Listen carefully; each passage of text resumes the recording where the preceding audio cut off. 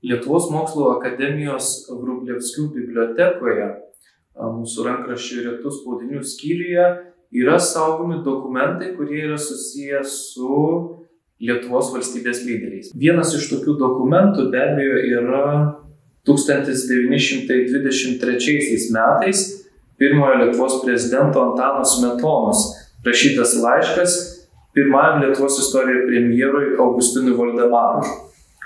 Nors Vėliau šie du politikai tapo oponentais, tačiau būtent e, mūsų bibliotekoje e, saugomame laiške atsispindi e, šių dviejų žmonių draugystė ir pasidalyjama tarpusavio išgyvenimais.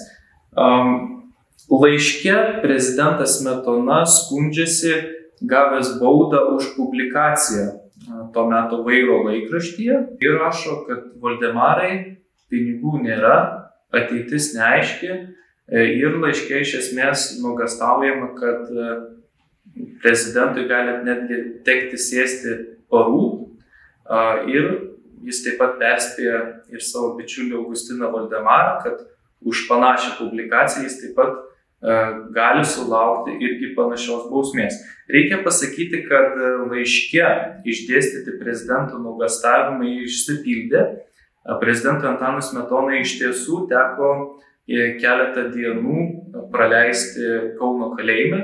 Na ir aišku, to meto visuomenė tai buvo didžiulis rezonansinis įvykis ir didžiulė šventė Smetonos politiniam oponentam. E, prezidentas su vagimis ir žmogžudžiais, ar ne, e, leidžia laiką už grotų. Tai iš tikrųjų šitas laiškas atspindi, na, tokį galima sakyti, ir sunkiausią pirmojo Lietuvos prezidento gyvenimo laikotarpį. Kiti dokumentai taip pat saugomi mūsų bibliotekoje, susiję su būtent jau minėtų premjero Augustinu Valdemaru, tai yra jo vizitinės kortelės, kuriomis jis naudojusi 1919 Versalio konferencijoje, kuomet jam teko ginti ir pakankamai efektyviai ginti Lietuvos reikalą. E, vizitinės kortelės išspausdintos e, pačiomis įvairiausiamis kalbomis - prancūzų, anglų, vokiečių, rusų. Ir iš tikrųjų jos primena tą laikotarpį, kuomet e, Augustinas Valdemaras pasižymėjo savo charizmą, savo puikių gebėjimų dominuoti diskusijose. Ir daug met, met, metraštininkai iš esmės atsimena ir laikotarpiu, kuomet Augustinui Valdemarui grįžus į Lietuvą, jisai pareiškė, kad Na, galbūt e, jie taip ir nesuprato, kas ta Lietuva, bet visi žino, kas yra Augustinas Valdemaras. Na, tai iš tikrųjų labai netipiškas Lietuvai politikas, labai turintis didžiulį pasitikėjimą savimi, e, didžiulę charizmą.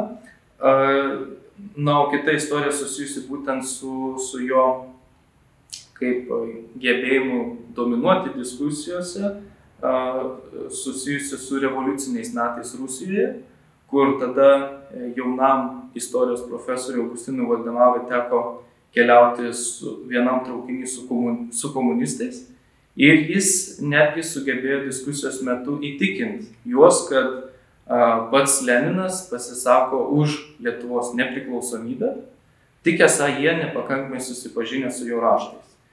Pasibaigus kelionį, jo kolega pasivedė Valdemarą į šalį ir paklausė, na, iš kur jis taip viską žino ir yra perskaitęs. Kai ką Valdemaras atsakė, tu gal juokauji, aš tų raštų nesuskaitęs gyvenime. Na tai iš tikrųjų toks momentas atspindintis, koks tai buvo žmogus ir, ir būtent šie dokumentai taip pat žymi svarbes e, datas, svarbius laikotarpius tų žmonių, kurie paliko gilų pėdsaką Lietuvos istorijoje kur yra Lietuvos ribos, kas turėtų būti valstybės pagrindas, kokia turėtų būti Lietuvos politinė sistema. Šiandien iš esmės yra aišku, nors ir tai kelia diskusijas. Tačiau be abejo, daugiau negu prieš šimtmetį tai buvo itin aštrus klausimai ir didelė diskusija. Pirmieji bandymai realiai kalbėti, kokia bus Lietuva, be abejo, prasidėjo su lik pirmoji pasauliniu karu kur išsiskyrė iškart dvi iš esmės Lietuvos politinės mintis, du politiniai centrai tarp vadinamų konservatorių ir vadinamųjų radikalų arba socialistų. Reikia pažymėti, kad konservatoriai, kuriems priklausė ir tokie signatarai kaip Jonas Basanavičius arba Donatas Malinauskas, pabrėžė, kad Lietuva turėtų kurtis autonominiu pagrindu, būtent lietuvė kalbėse žemėse ir buvo puoselėjama monarchijos idėjos, tai atsispindi ir gintariniai deklaracijai 1914 metais rūpiučio 17.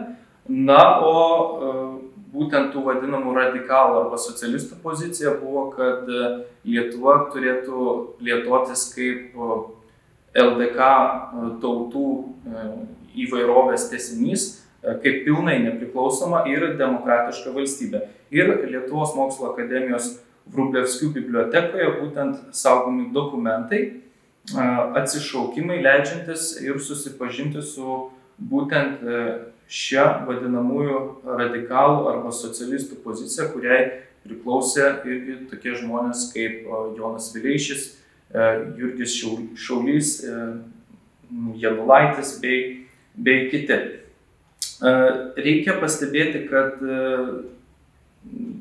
1915 pabaigoje išleistas atsišaukimas universalis bei 1916 metų pradžioje išleistas atsišaukimas piliečiai būtent pabrėžia, kad Lietuva turėtų kurtis iš tuo metu Vokietijos užimtų Lietuvos ir Gudijos žemę bei sudaryti vientisą ir nedalomą Lietuvos valstybę. Taigi, kaip matome, visa Lietuvos nepriklausomybės raida buvo įtin, įtin dinamiška, besikeičianti ir, ir tai, kad um, tai, kas, kas šiandien žinoma kaip Lietuva, be abejo buvo pasiekta per didžiulę diskusiją bei, bei bendrą darbą.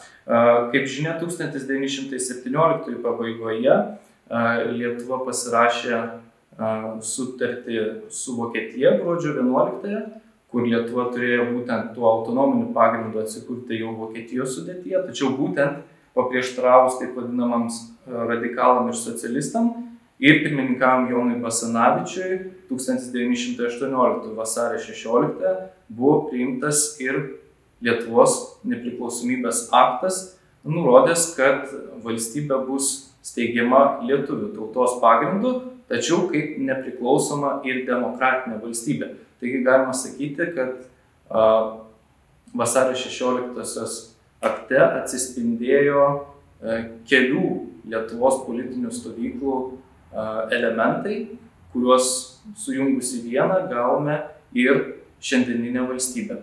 A, su vasario 16 aktu, kuris buvo paskelbtas ir Lietuvos AIDE, Taip pat galima susipažinti ir mūsų bibliotekos senosios periodikos skyriuje. Reikia pažymėti, kad vasario 16-osios aktas išspausdintas laikraštė, apskritai visas šitas laikraščio numeris buvo cenzuruojamas.